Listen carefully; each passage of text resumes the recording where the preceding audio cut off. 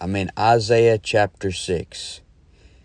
And in this chapter, Isaiah is explaining what happened when he told the Lord he would be the one to go out and preach this negative message for him. So Isaiah 6 seems to take place before the first five chapters, it seems like. It's Isaiah going back and uh, recounting what happened. And he's talking about King Uzziah. And King Uzziah is one of the kings that was reigning during the times that Isaiah was prophesying. Isaiah 6 1 In the year that King Uzziah died, I saw also the Lord sitting upon a throne, high and lifted up, and his train filled the temple. So King Uzziah.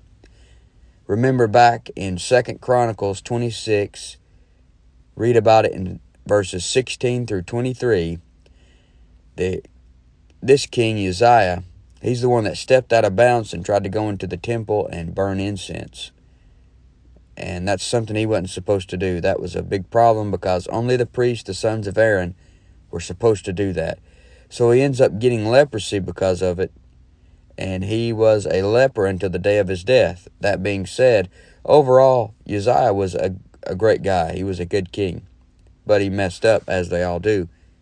But that let, let that remind you that you may have a really important job as king, but you can't do it all. You may have a really great gift that God's given you, but He's not giving you every gift. He's not giving you every thing to do. There's stuff only other people can do. So learn to accept that. But this King Uzziah, that's who he is. That's what happened to him. And Isaiah said, In the year that King Uzziah died, I saw also the Lord sitting upon a throne, high and lifted up, and his train filled the temple. So Isaiah saw the Lord. This experience is similar to John's experience in Revelation chapter 4. He gets to see the Lord Jesus Christ. He could he could say just as good as anybody, mm, you know, that common saying. Now that's something you don't see every day. And immediately Bible skeptics from around everywhere will say, well, you see the Bible's got contradictions. It says Isaiah saw the Lord. And then they'll take you to John 1:18 where it says no man has seen God at any time. But yet here it says in Isaiah, Isaiah, uh, Isaiah saw the Lord. You know why this is? It's because Jesus Christ is God and you can see Jesus Christ. Yeah, sure, John 1.18 says no man has seen God at any time. But in John 14.9, it says, Jesus saith unto him, Have I been so long time with you, and yet hast thou not known me, Philip? He that hath seen me hath seen the Father. And how sayest thou then, Show us the Father? So if you've seen Jesus Christ, you've seen the Father. This is proof of the deity of the Lord Jesus Christ. Nobody's seen the Father, but they've seen Jesus Christ. Jesus Christ is God. In John 1 1 through 3, it says, In the beginning was the Word, and the Word was with God, and the Word was God. The same was in the beginning with God. All things were made by Him. Without Him was not anything made that was made. Now, you can't explain it. We can't explain it 100% right because our minds ain't that great. But consider how you have never seen your own soul. Nobody's seen your soul. Your soul is you, but nobody's seen it. We've seen you, though, because we've seen your body. Your body is also you.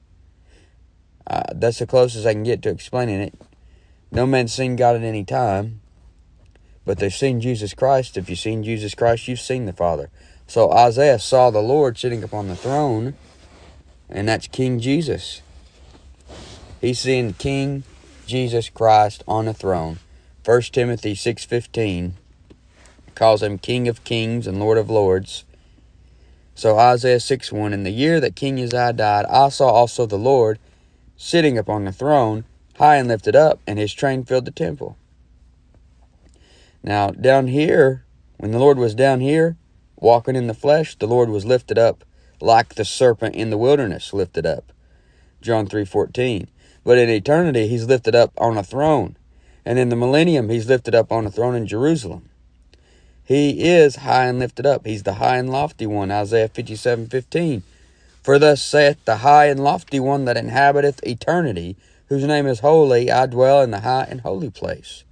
So he's high and lifted up. He's at his rightful place on the throne in heaven. In the millennium, he's going to be on his rightful place on a throne. Isaiah said, and his train filled the temple. The train is something that flows out. And like, you know, you see a train, it's got all this stuff coming behind it.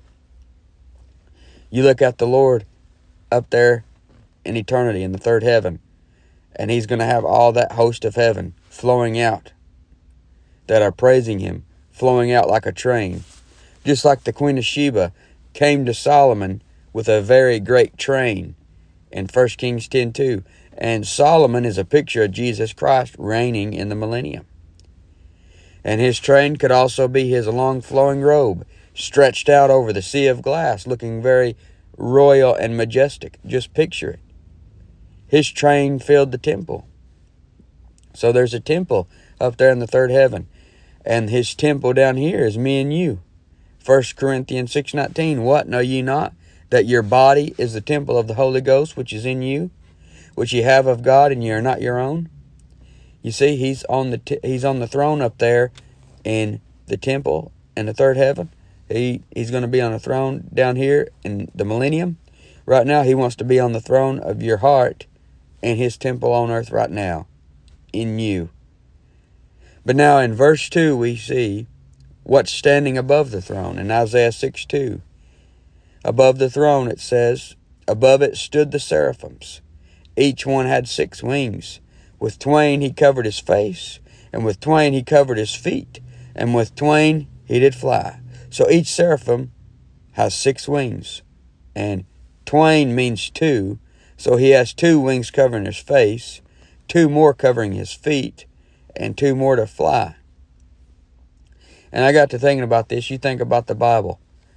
You lay it out flat, it kind of looks like wings and you need to put your face in it. You need to be like the seraphim. Cover your face with the book. You know, like Danny always says, uh, get get off Facebook and get your nose in the book. You know, they got two covering their feet. So cover your walk with what you learn in the Word of God. Get your walk right. Put your face in the book. And then you'll be able to fly. You got two to fly. So with twain, they covered their face. With two, they covered their feet. And with two, they did fly. Seraphims are another one of the Lord's creations. And these aren't to be confused with cherubims in Ezekiel 1 and 10 because they got four wings, not six. And they're not to be confused with angels who aren't said to have wings at all in the Bible but look like regular men, even though they can fly like Gabriel flew swiftly in the book of Daniel, but it doesn't say they have wings. They look just like regular men. That's how you can entertain them unawares. You don't even know that they're angels because they just look like men.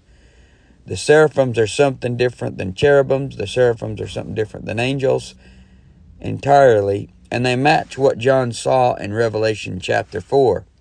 In Revelation 4 6 through 8, like I said, John has a similar experience where he's caught up into the third heaven. And in Revelation 4 6, he says, And before the throne there was a sea of glass like unto crystal, and in the midst of the throne and round about the throne were four beasts full of eyes before and behind. And the first beast was like a lion, and the second beast like a calf, and the third beast had a face as a man, and the fourth beast was like a flying eagle. And the four beasts had each of them six wings about him, and they were full of eyes within, and they rest not day and night, saying, Holy, holy, holy, Lord God Almighty, which was and is and is to come. So, you got these four beasts here, they got six wings, just like the seraphim in Isaiah 6. And they're saying the same thing Holy, holy, holy. They're saying the same things that the seraphim were in Isaiah 6. And I know that pretty much everybody in heaven is going to be saying that same phrase, but still, the Bible is written in such a way where you link phrases and you link words, and it gets you to a conclusion about what a thing actually is. If Isaiah 6 has the seraphim with six wings around God's throne, saying, Holy, holy, holy, and then you come to Revelation 4, and you got these four beasts with six wings, saying the same phrase, that's putting you to the same conclusion there. So they're very similar to the cherubim, but the cherubim have four wings, and they also have a different name. So it makes sense to say they are a different class of creature entirely. However, I, I don't argue with those who say the seraphim and cherubim are the same. But back to Isaiah 6 3, it says, And one cried unto another and said, Holy, holy, holy is the Lord of hosts. The whole earth is full of his glory. Notice they say the same thing as those four beasts in Revelation 4. Holy, holy, holy, three times. They say it three times because he is holy in the Father, holy in the Son, holy in the Holy Ghost. You got your Godhead, God the Father, the Son, which is the Word, and the Holy Spirit or the Holy Ghost. And that's your Godhead. That's what people refer to as the Trinity. A lot of controversy around that. 1 John 5 7. This is as far as I take it. I don't get controversial with it. This is as far as I take it. 1 John 5 7. For there are three that bear record in heaven the Father, the Word, and the Holy Ghost, and these three are one. We don't believe that there's three gods.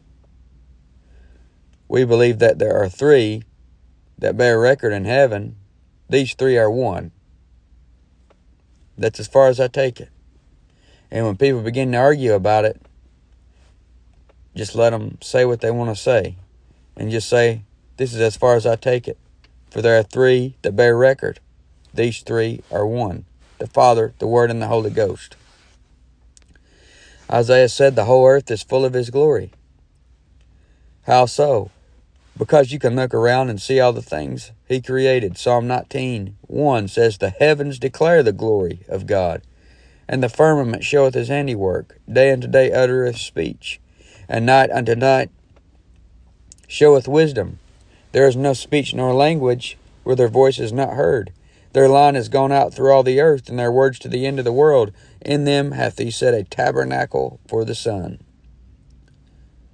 Then you go to Romans 1 19 through 21. It says, Because that which may be known of God is manifest in them, for God hath showed it unto them. How has God shown himself to us?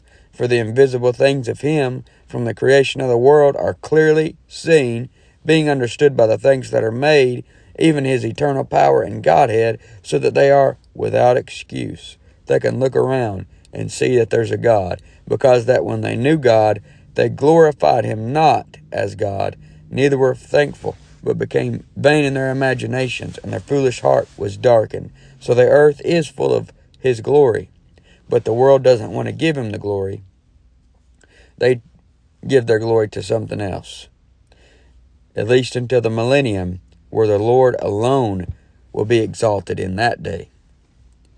Then he's going to get all the glory.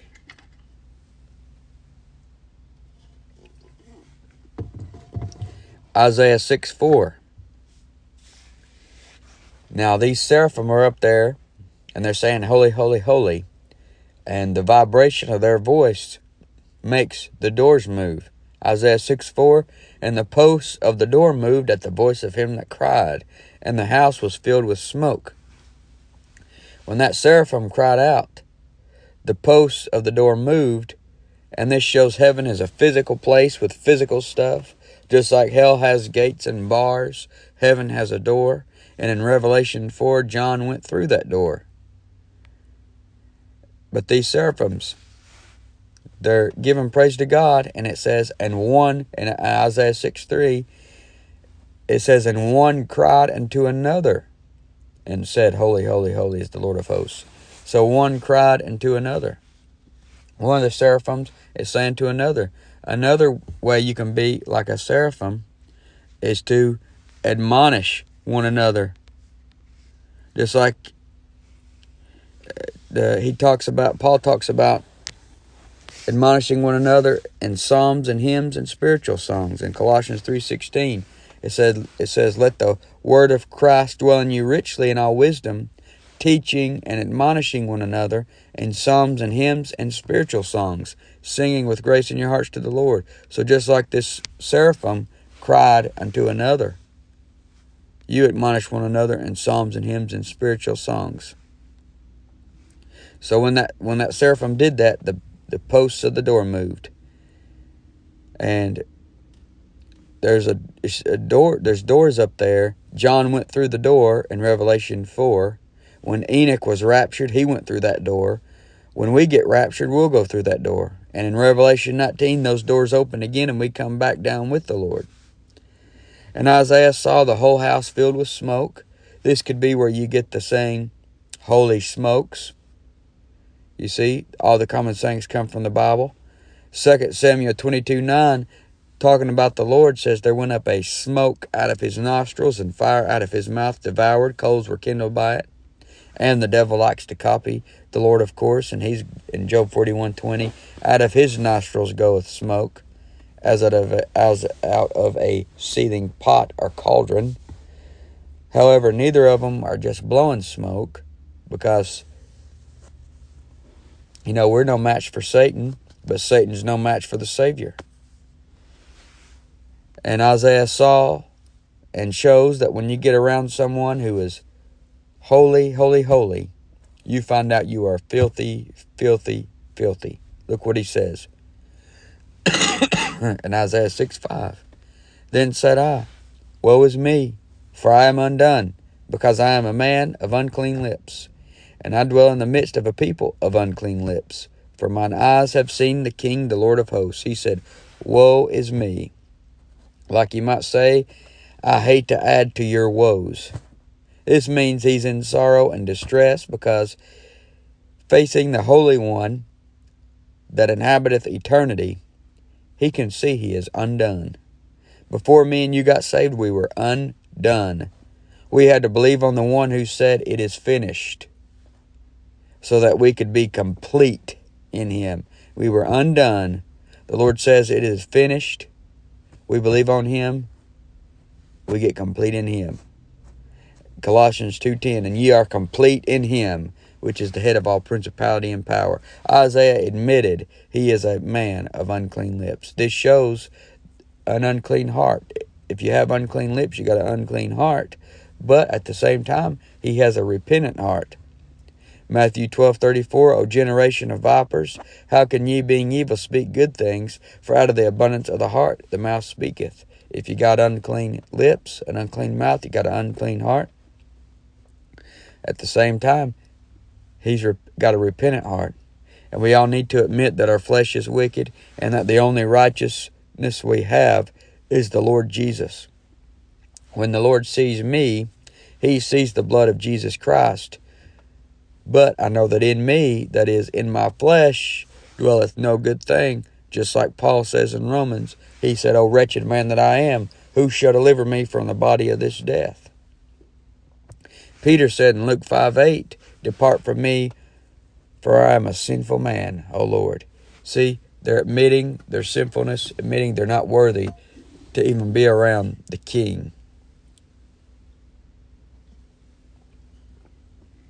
Luke 18:13 the publican standing afar off would not lift up so much as his eyes unto heaven but smote upon his breast saying God be merciful to me a sinner that's what we need is mercy and more mercy and more mercy every day and I deserve every bad thing that comes my way because of my flesh not because of my new man that's in me my new man in me is the righteousness of the Lord Jesus Christ. But when it comes to my flesh, I deserve every trouble and hardship that comes my way.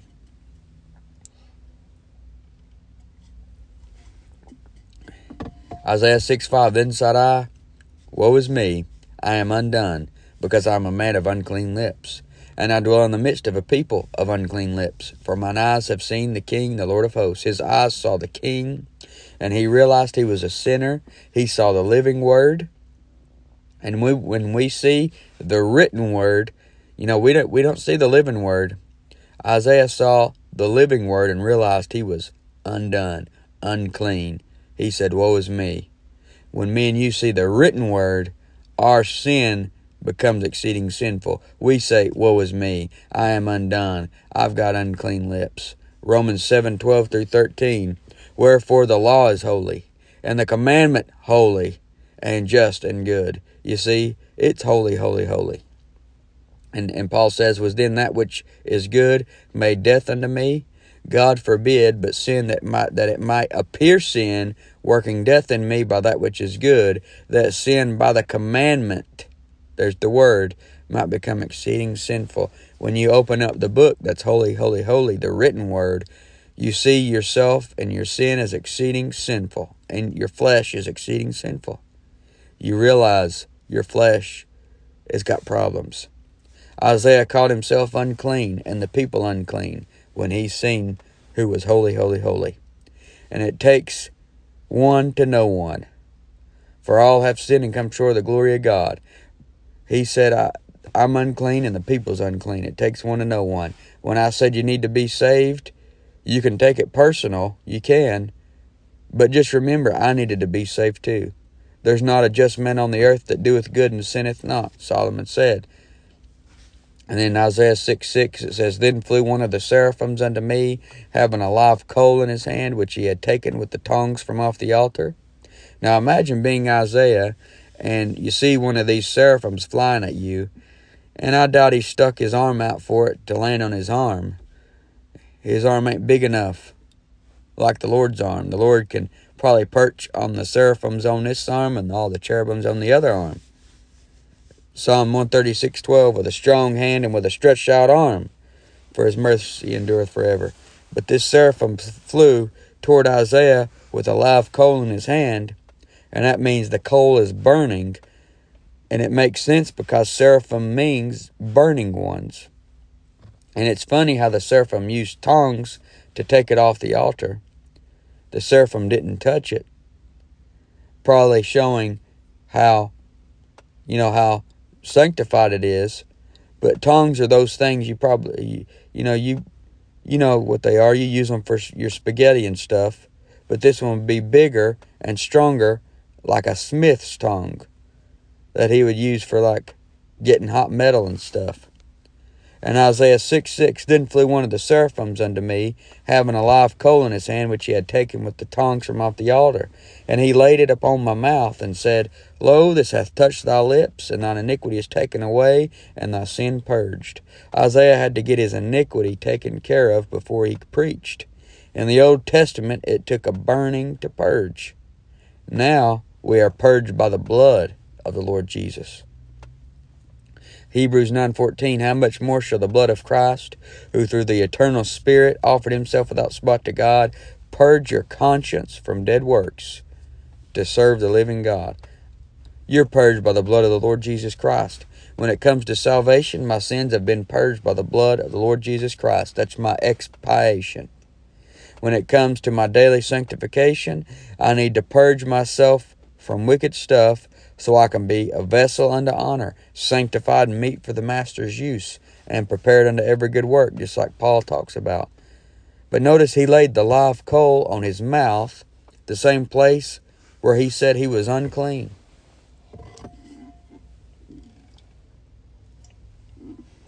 So he laid it on his mouth. And it's interesting that the word that it takes for a person to believe on Jesus Christ is in his mouth and his heart. Romans 10 8 through 10. You get that word in your heart, you heard the gospel, it's in your heart, and it's in your mouth. That's how close you are to being saved if you're not. The word's already in your heart and it's already in your mouth. Isaiah 6 8 Also I heard the voice of the Lord saying, Whom shall I send? And who will go for us? Then said I, Here am I, send me. Notice the Lord is asking who will do something for him. Wouldn't be an honor, wouldn't it be an honor to answer the Lord and say that you will go? The Lord himself said, Who will go for us? There's that Godhead again. There's the Godhead showing up. Kind of like what happened in Genesis 1 when he said, and God said, in verse 26, John or Genesis 126, and God said, Let us make man in our image. Our, us plural, wor- plural words showing the Father, the Son, the Holy Ghost speaking. Isaiah answers the call to go for the Lord and says, Here am I, send me. He becomes the postman for the Lord. He's the messenger with the Lord's extremely negative message. In Isaiah 6 9, it says, And he said, Go and tell this people, Hear ye indeed, but understand not, and see ye indeed, but perceive not. Isaiah is going to have a really negative, hard ministry because Israel has rejected so much truth that they could no longer understand truth if it smacked them in the face from the burning lips of Isaiah. They're not going to even understand the message, so they're going to be blind to it, just like lost people are today, just like Israel is today, blind in part. And in 1 Corinthians 2.14, you know what it says? It says, The natural man receiveth not the things of the Spirit of God, for they are foolishness unto him. Neither can he know them, because they are spiritually discerned. You see, you can't just understand the things of God, the things of the Spirit of God naturally. The Holy Spirit has to open it to you. And when you reject truth, the Holy Spirit will get to a point where He doesn't open it up to you. In Isaiah 6:10 it says, "Make the heart of this people fat, and make their ears heavy, and shut their eyes, lest they should see with their eyes, and hear with their ears, and understand with their heart, and convert and be healed." You see, if the heart is fat, it's hard to prick it with preaching. If the ears are heavy, like they get when you put your head in the pool the wrong way, you can't hear. If you're walking around with your eyes shut, you can't see. So they can't see, they can't hear, then they can't get their heart pricked because Israel has turned into the idols that they worshiped. And you know what it says about idols? Psalm 115, 4 through 8. Their idols are silver and gold, the work of men's hands. They have mouths, but they speak not. Eyes have they, but they see not. They have ears, but they hear not. Noses have they, but they smell not. They have hands, but they handle not. Feet have they, but they walk not. Neither speak they through their throat. They, now here's the key, they that make them are likened to them. So is every one that trusteth in them. So you see, they turn into their idols. You are, you're going to be more like what you worship, what you pray to, what you think about. You're going to be more like that evil communications corrupt good manners. If all your communications uh, involve your idols, you're going to be just like them. And under the preaching of Jesus Christ himself, they rejected the truth, so he began to pound them with the truth. You see, the truth is going to make an effect, whether it's for better or for worse. The truth is going to have an effect. If you reject the truth, the truth is going to affect you in a bad way. You're going to not be able to understand it. If you receive the truth, you're just going to it's going to help you so much and you're going to get more and more truth. And just like Jesus said in Matthew 13, 13, therefore speak I to them in parables, because they seeing see not, and hearing they hear not, neither do they understand. That's why he started speaking to them in parables. Isaiah 6, 11 through 12. Then said I, Lord, how long? You know, how long am I going to have to preach this negative message like this? And he answered, Until the cities be wasted without inhabitant. You know, until there's nobody left there to preach to, and the houses without man. You can't go door to door anymore preaching it because there's not going to be nobody there. And the land be utterly desolate, and the Lord have removed men far away, and there be a great forsaking in the midst of the land. So Isaiah wants to know how long is he going to have to preach this negative message well, they're not ever going to receive it, so that's his whole ministry. The blindness of Israel goes all the way through the tribulation time period, but then a remnant will see the catastrophic events during that time. They'll see that abomination of desolation where the Antichrist claims to be God, and they're going to believe and they're going to be a faithful remnant during that time. In Isaiah 6:13, it says, "But yet in it shall be a tenth and it shall return, and shall be eaten, as a teil tree, and as an oak, whose substance is in them, when they cast their leaves. So the holy seed shall be the substance thereof. So he said, In it shall be a tenth. That's the faithful remnant. This is the holy seed. Prophetically, the remnant will repopulate the entire nation after Jesus Christ comes back at the second coming. You see, and he mentioned the oak. The oak, you find that many times in a, a negative way in the Bible, and here it shows up in verse 13 of all verses. But the you see the oak, it loses all of its leaves, but then quickly comes back with new ones to replace the old ones. And that's what they're going to do. They're going to lose a lot, but quickly come back to replace the old ones.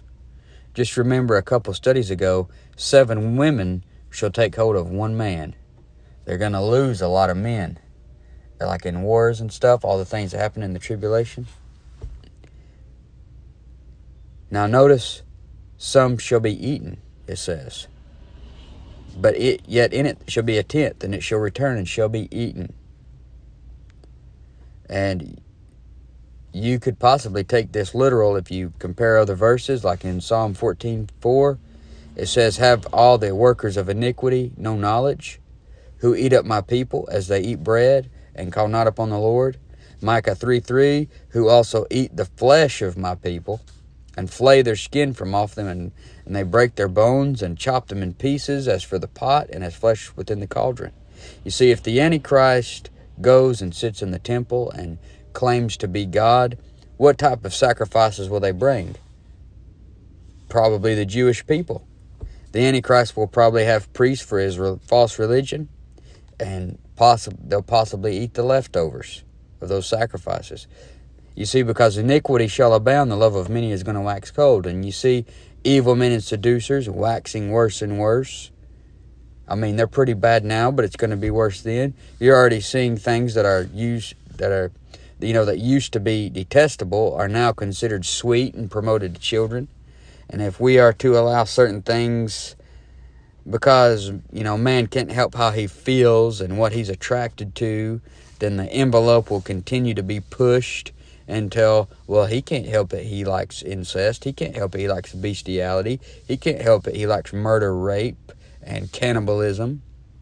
And those just become more letters attached onto LGBT and who will be uh, the people used for the sexual slavery. You see, when that stuff becomes acceptable, who's going to be used to be the sexual slaves that have to be cannibalized and murder raped, you see? Well, it's got to be those good, righteous people who the world is going to call evil, and they'll take away the righteousness from the righteous men and make them look like the bad guys and make them look evil and detestable. So then man will have no problem doing whatever he wants to do to these righteous men and women, whether that be cannibalism, murder, rape, whatnot. And you see, for these atrocious acts like cannibalism, murder, rape, and things to take place in a world that says love is love, you have to have people who the world absolutely detests for them to have people to practice these horrible acts on. That that way, in their eyes, it won't contradict their love everything and everybody philosophy and all that. But you see, a lot of their trouble will leave out in the rapture. You see, all the Christians are going to leave out in the rapture, and just when they thought they got rid of all the Christians, a remnant will get right with the Lord in the tribulation, and there will be execution of these people who won't conform. And these people who won't eh, worship the Antichrist because they exclusively worship the Lord God and even trying to proselyte others. That's who they're going to want to get rid of. That's who's going to be eaten. That's the faithful remnant.